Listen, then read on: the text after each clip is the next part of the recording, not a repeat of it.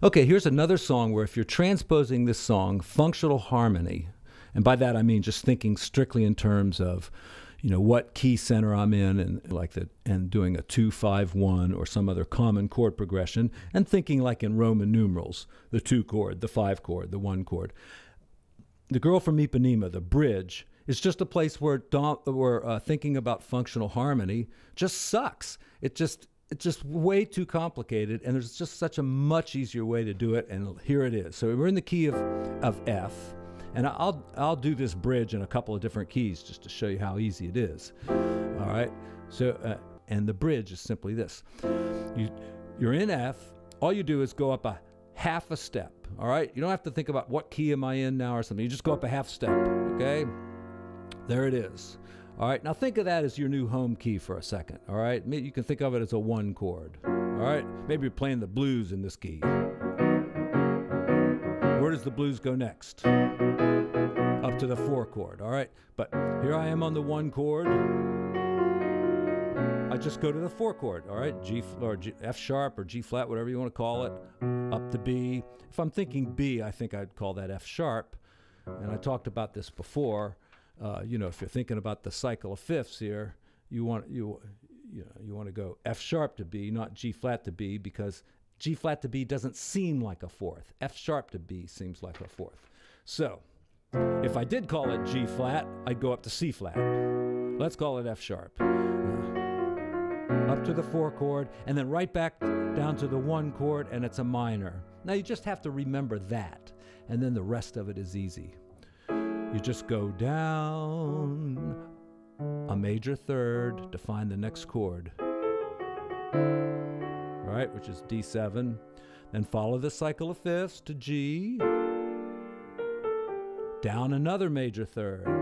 Same kind of dominant chord. And then you get to a 3 6 2 5 1. If you can remember what key you're in, we were originally in F, so let's go to A minor there's the uh, the six chord and the two chord and the five chord.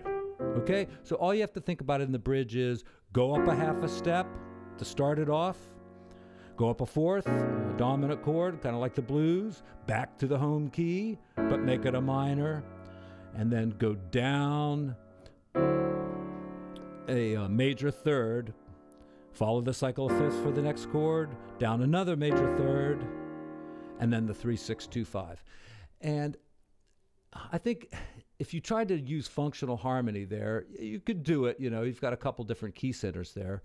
But if you're in F and you're remembering the key center of, say, F sharp and I don't know what else, what else is in there. Um, and then you transpose it, say, to the key of B, and then you've got to think of the new key B and the new key centers, which might be C and some other thing or whatever you know, that's a lot to carry around in your brain at one time. It's much easier just to be someplace at the song and think about how to get to the next place. All right. So here we go. Girl from Ipanema in B, and I'll use the same kind of, of uh, uh, and it's the, the, motion of the bass note, right? How far it moves. Does it move up a fourth, down a fourth, and down a major third? All right, here we go. B, two chord, minor two chord, five chord. All right, we do that again. And then we get to the bridge. So it's up a half step, right? C to the four chord of C, back to C, make it a minor. Now, do you remember where to go here? You go down a major third, all right? So I don't care if you call it G sharp or A flat, doesn't matter. All right, and you know cycle of fifths, where to go from there to there. All right. I, again, you go a major third down. Okay, and then it's a three six two five one. What key were we in? B. All right. So what's the three chord?